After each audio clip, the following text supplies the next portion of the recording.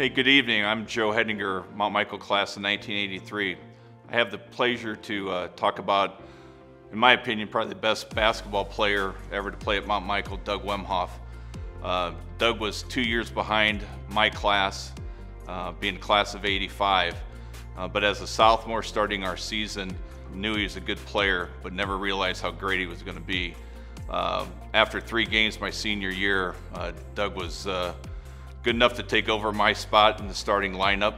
Um, and I guess maybe Doug, along with the best coach in Nebraska's history and my concern, Coach Kane, uh, those two probably realized how great uh, Doug could be. So it was an honor to play with Doug. Obviously, Doug went on did some great things at Rockhurst. I believe he's in Rockhurst Hall of Fame as well uh, for his basketball talents. Uh, but I've never played with anybody better than Doug. Uh, and even as a sophomore coming into a senior dominated team uh, that just came off from winning the uh, football championship in 1982. Um, Doug was just a great teammate, a quiet leader. Uh, obviously went on 1984 and 85 to be a, an all-state player in Nebraska and obviously the best player uh, in Mount Michael. So Doug, congratulations on your induction to Mount Michael Hall of Fame.